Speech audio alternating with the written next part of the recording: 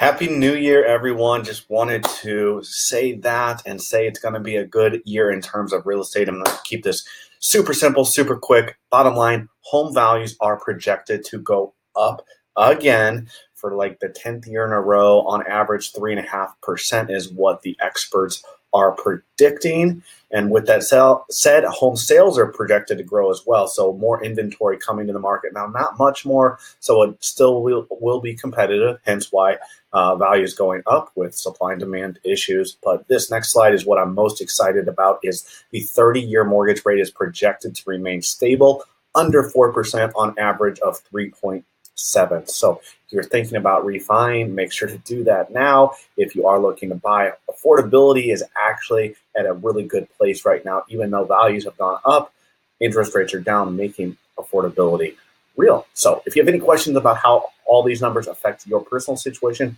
please call, text, or email. Take care, guys, and make 2020 awesome.